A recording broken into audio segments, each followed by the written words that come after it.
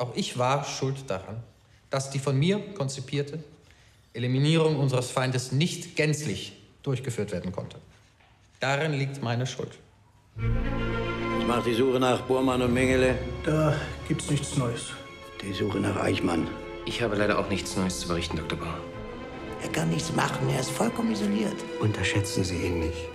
Ein Mann glaubt, Adolf Eichmann in Argentinien entdeckt zu haben. Obersturmbannführer der SS. Das ist die zentrale Figur. Und was willst du jetzt tun? Ihn in Deutschland vor Gericht stellen. Eichmann würde in einem solchen Prozess unzählige Namen im Zusammenhang mit der Endlösung nennen. Bauer hat eine neue Fährte und ich weiß nicht, wen er im Visier hat. Niemand von Bonn bis Washington will Eichmann vor Gericht. Ich habe den Mossad kontaktiert. Die Spur ist eine tote Spur. Eine tote Spur? Das kann nicht sein. Wir begehen Landesverrat. Verdammt nochmal, Angermann. Wollen Sie Gerechtigkeit?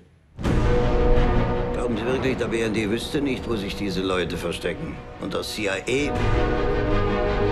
Er ist besessen. Meine eigene Behörde ist Feindesland. Sagen Sie es mir ehrlich, bin ich ein Feind unseres Landes?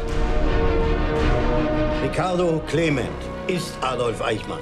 Wer ist die zweite Quelle, Dr. Bauer? Man sagt, dass Sie im Exil Probleme mit der dänischen Sittenpolizei hatten.